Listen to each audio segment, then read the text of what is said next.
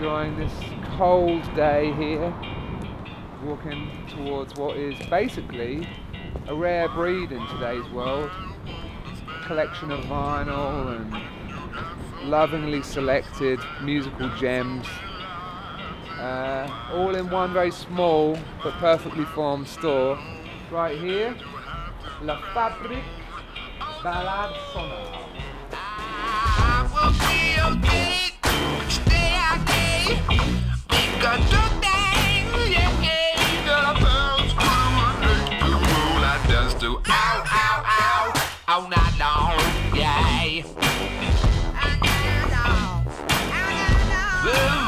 This actually is weird.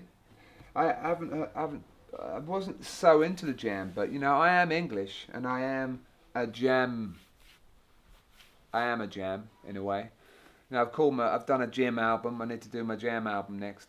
Uh, so yeah, the jam. It was kind of a good, you know, good hair, and uh, reminds me of my sister growing up. We would listen to that kind of business, know, Eton Rifles. You know, that weird crossover between, you know, that weird time in England just after punk and it was kind of like when pop and punk were kind of having a weird moment.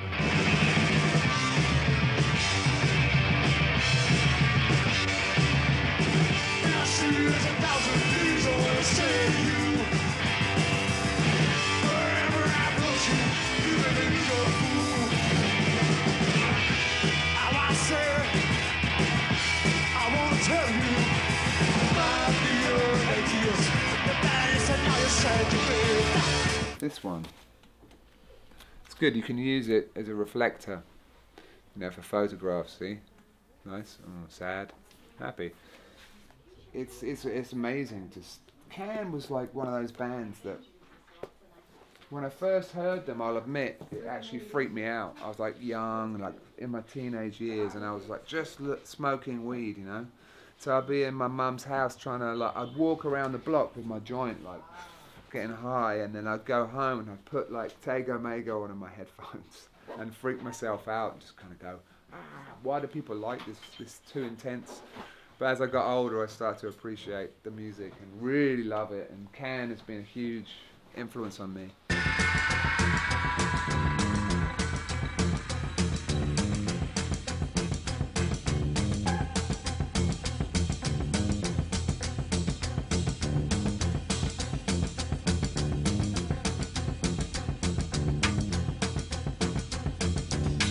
This is kind of great because now we've moved to Nashville, we actually hang out with this guy quite a lot, Bonnie Prince Billy. I mean, he doesn't actually live in Nashville, he lives in Louisville, uh, which is in Kentucky, which is pretty close.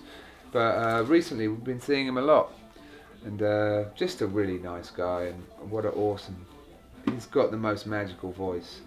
He played a show in Nashville and we went down and uh, there was no, no one really knew who he was kind of and they were just like just chatting and like they were playing some good old like you know sort of standard country stuff. Good like more not real country like old time stuff you know like upright bass and like, everyone's singing. And uh, and he would come on with his, his acoustic guitar and start singing and people didn't know it was like Bonnie Prince Billy you know.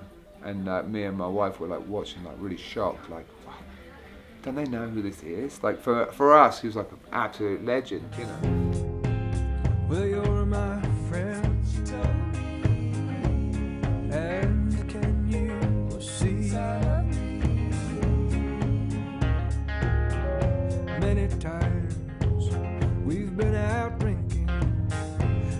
times we've shared our thoughts. But did you ever, ever notice the kind of thoughts I got?